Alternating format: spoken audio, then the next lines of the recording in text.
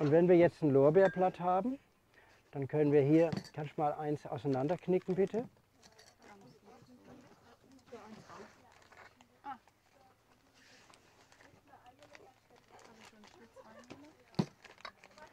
Also wenn da jetzt zum Beispiel Läuse dran sind, dann macht das auch nichts. Ja? Äh, wenn, wenn du Rosen oder, oder sonst was isst, die Läuse sind total süß. Richtig zuckrig. Ja? Und äh, du kannst sie natürlich alle absammeln, aber du kannst sie auch lassen und essen. Ist schlimm, ne? Du musst ja nichts machen. Egal welche Farbe, ne? Grün, schwarz, Ja. die Läuse.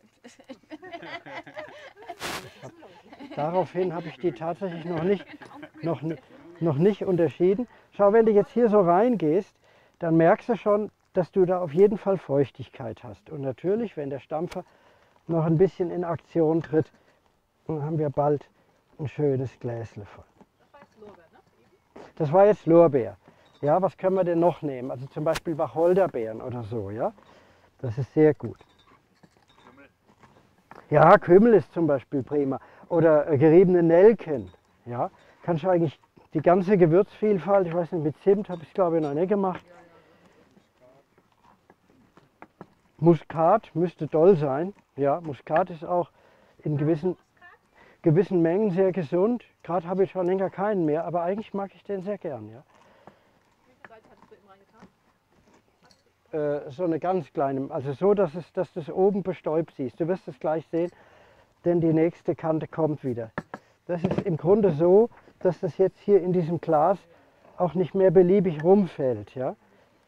Ich werde das jetzt schon schief halten können, da kommt jetzt nichts mehr raus. Und man sieht auch, dass relativ schon wenig Luft zwischen den Blättern ist. Das ist mit dem Zeug, da würde ich jetzt fast tatsächlich für einen, einen kurzen Mixergang plädieren mit den roten Beeten da. Das war sehr ungeschickt, habe ich geschlafen. Also ungefähr,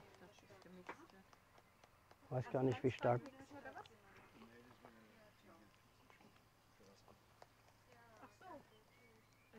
So. Jetzt kommt noch mal eins. Sellerie, Kohl. Ist der Kohl schon weg? Mhm. Ja.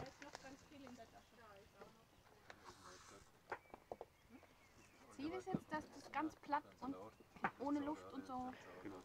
Damit nachher gar keine Luft drin ist, Ah, geben wir etwas Quellwasser dazu. Bei rote Beete, wenn die kleiner ist, ja, Ausrufezeichen und sowas, dann, wenn du zum Schluss so reindrückst, dann hast du praktisch einen Sumpf. Und das muss von Wasser bedeckt sein. Das ist ganz wichtig. Wenn wir das jetzt gleich mit dem, mit dem guten Wasser machen, also der Wilfried hat immer Wasser da und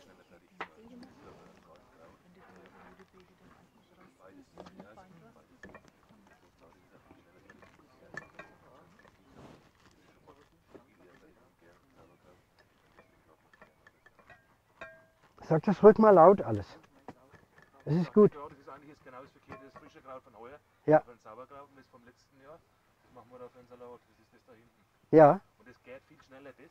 Ja. Und das da hinten dauert viel länger. Also Spitzkraut zum Beispiel geht schneller. Also wenn ich das jetzt unten reinmache, ey, das versehen, das ist genau das verkehrte. Ne? Das muss oben drauf. ja. Das vom letzten Jahr, das hat er unten rein, weil es viel länger braucht. Aha, aha. Also jetzt Gut zu wissen. Wir essen wollen, wäre das jetzt keiner gewesen. Nee. Das hätte man für Sauerkraut gemacht. Aha, aha. Ja, also, also, also bei mir braucht das ungefähr zwei Wochen. Ja, die Zeit habe ich ja. Und da muss ich ein bisschen aufpassen. Ähm, also äh, irgendwie sind wir alle gar nicht so furchtbar groß Vielesser, ja. Es macht also gar nichts, wenn du, wenn du, wenn du immer mal wieder sowas machst.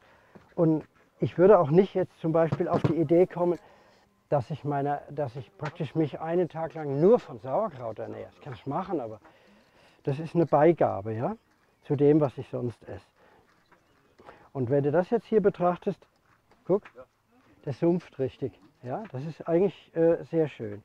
Und jetzt ähm, tun wir noch so ein Lorbeerblattel drauf. Ein halbes.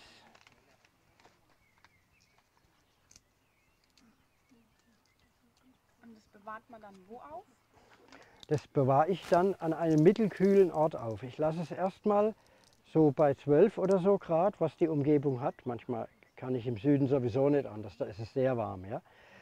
Und dann kommt es ins Kühle, 10 Grad oder so, wenn ich es länger aufbewahren will.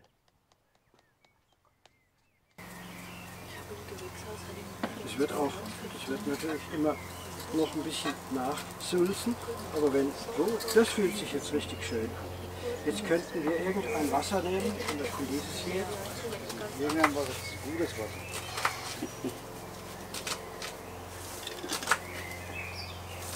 Wenn wir jetzt noch ein bisschen, noch ein bisschen stampfen, da kommen noch viele Luftblasen. Ja? Das will man. Spätestens jetzt sieht man, dass diese steinzeitliche Sauerkrautpresse einfach die absolute Überlebensvoraussetzung ist.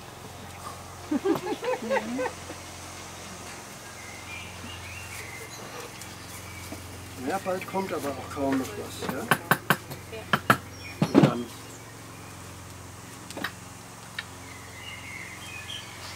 steht es da einigermaßen drin. Man kann vielleicht noch ganz klein wenig Wasser. Die Frage ist, wie oft geht das daneben? Also ich kann sagen, ich erinnere mich bestenfalls an zwei. Das funktioniert. Das ist so einfach.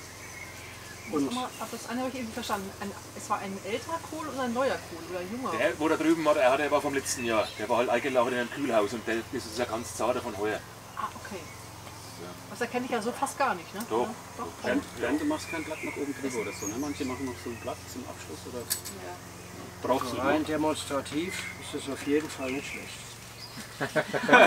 Nee, ich meine, das ist ein Kohlblatt.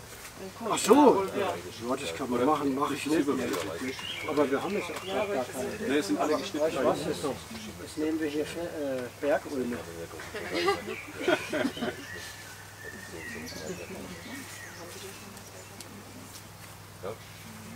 Also, äh, wenn, wenn, wenn ich da im Süden mein Sauerkraut mache, ich habe eigentlich immer Kohl, der nicht gelagert ist. Der ist frisch vom Beet. Ja? Und ähm, so sieht es aus. Und das sieht sehr nett aus. Absolut. Macht irgendwie richtig Spaß. Während mich das hier tatsächlich sehr trauert. Jetzt müssen wir diese rote Öl so essen.